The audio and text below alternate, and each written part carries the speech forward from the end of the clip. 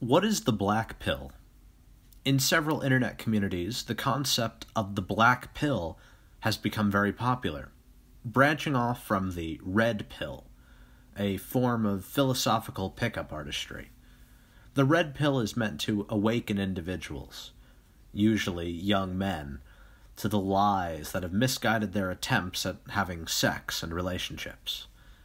The black pill is a sort of logical conclusion to the red pill concept just as the red pill wakes you up to blue pill lies, the black pill shows all hope is a lie.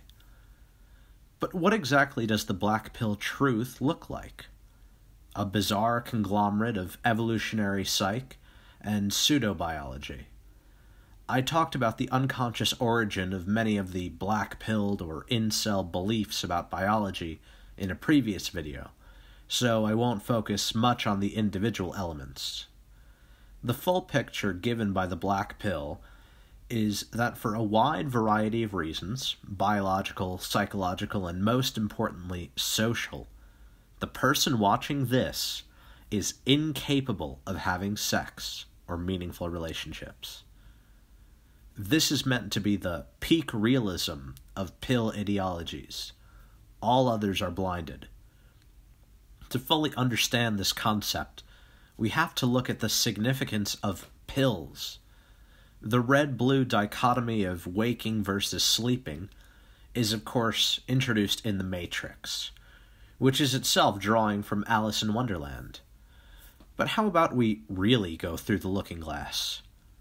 Pills are symbolic representations of viruses, memetic viruses to be precise powerful information stored in small, easily spread forms.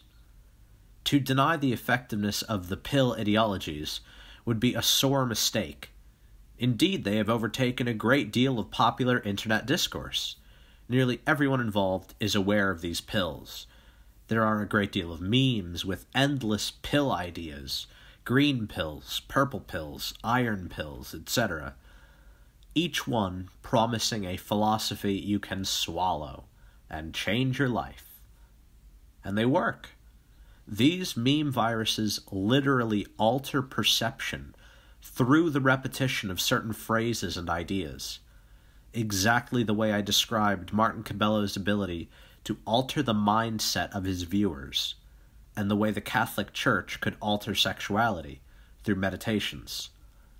In this way, the black pilled individual lives within their own truth. Their perceptions and ideas become deeply skewed, and they act according to these new sensory inputs. In this altering of the senses, we return again to the concept of blindness, the very thing those seeking the pills sought to escape. Each seeking reality. This, of course, brings us to the pessimism of Schopenhauer and Nietzsche, something I've given a lot of attention to in the Doomer videos. When the veil rending Dionysian man takes the black pill and looks into the chaotic abyss, the terrible darkness of night. But in so doing, this man creates a restorative light spot, the exact inverse of the dark spots that we make after gazing into lights. In this sense, the black pill simply cannot be permanent. We naturally balance any extreme through what Jung calls enantiodromia, or the emergence of the unconscious opposite in the course of time. This characteristic phenomena practically always occurs when an extreme, one sided tendency dominates conscious life.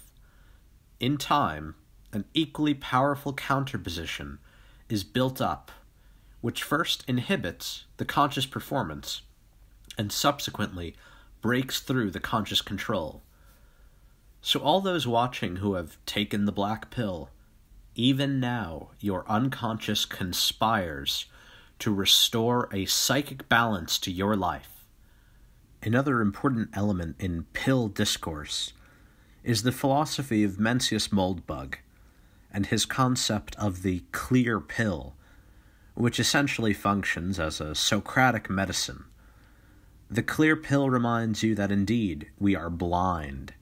We live within our own illusions, but lacks the curative nature of the whole galaxy of multicolored uppers, downers, screamers, and laughers that constitute every other pill ideology.